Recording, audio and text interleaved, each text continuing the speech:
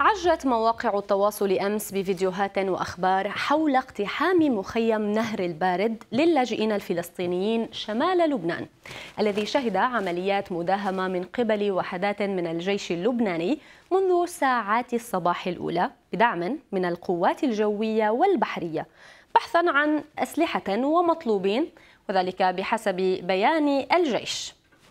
طيب واستفاق سكان المخيم عند الساعة الخامسة والنصف فجرا على أصوات الطائرات الحربية وهي تحلق على ارتفاعات منخفضة.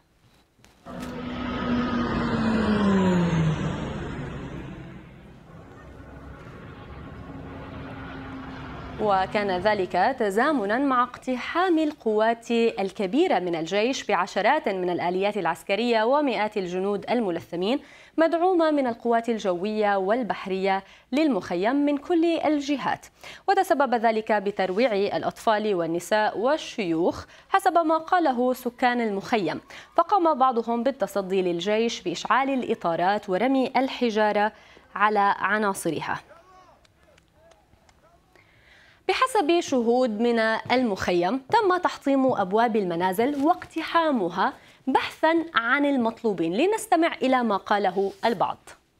بلشوا مسكوا هيك يقول لي فوتي يا جوا مسكوا يضرب فيني ويضرب بجوزي من فوق لتحت ما خلوا شيء غير ما فتشوه ما لقوا الحمد لله بقلب البيت نصرة بعد ما خلص قالوا له ما لقينا شيء بقلب البيت والجوزي فاتوا نبشوا غرفة النوم ما لقوش إشي راحوا على المطبخ لقوا بلال ماسك بنته قاعد بالمطبخ. غاز قال إذا ما بتروح معنا نولعك أنت وبنتك. قال له أنا حبلة. ولا بقول لي بقول لي زحك أحسن ما أقوسك وبقوس بناتك. شو اللي يقوسني وقوس بناتي شو عاملين إحنا؟ بيبقى وأنا مفرعه نايمة نايمين يا شفت الغرف الفراش بالأرض. وقعت إصابات طفيفة خلال المواجهات وأصيبت امرأة بالرصاص. لنستمع. عندي شباك أزاز كسروا الباب وفاتوا علينا. أنا وبناتي نايمين أربع ولايا فاتوا علينا كنت فوقية ساكنة. قوسوا الباب وفاتوا اجت الرصاصه باجر كنتي. قوسوها قالوا لها وين جوزك يا مخها يا هيك بلشوا لها يسبوا عليها ويغلطوا بالحكي. وهي الرصاص ملان وفاضي. هاي الرصاصه اللي قوسوها وشو بدكم بعد أكثر من كسروا البيت كله كسروه. تعالوا شوفوا الدمايا بالأرض والعفش كله مكسر. في المقابل نشر الجيش اللبناني الصورة أو هذه الصورة للموقوفين وقال في بيان مقتضب نفذت قوة من الجيش بدعم من القوات الجوية والبحرية عمليات دهم في مخيم نهر البارد وأوقفت تسعة مطلوبين بموجب عدة مذكرات توقيف بجرائم ترويج المخدرات وإطلاق النار والقتل كما ضبطت ضبطت أسلحة حربية. الفصائل الفلسطينية في المخيمات أو مخيمات اللاجئين الفلسطينيين بلبنان أدانت عمليات الجيش اللبناني بتلك الطريقة وترويع الأهالي على حد قولها. استمعوا لبعض مما ذكر.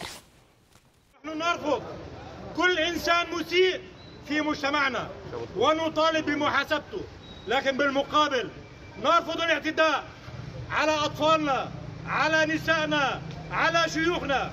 هذا الترويع اللي حصل صبيحة هذا اليوم لم نشهده في أرض الوطن.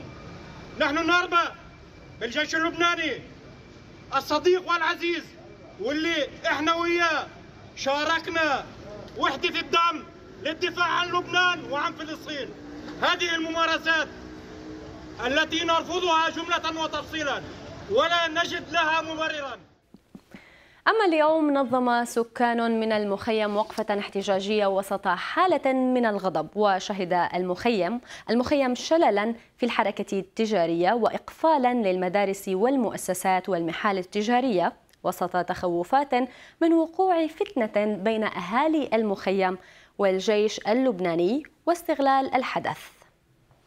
وضجت مواقع التواصل بالتعليقات المستنكرة والمرحبة بالعملية العسكرية في مخيم نهر البارد تعليقا على ما جرى. فهنا تعليق تغريدة من عبودة يقول فيها هل يستدعي الأمر كل هالطيارات والجيوش كرمال تكمشوا تسعة مطلوبين على قضايا مخدرات وتقويس أو تقويس يعني إطلاق نار بالهواء؟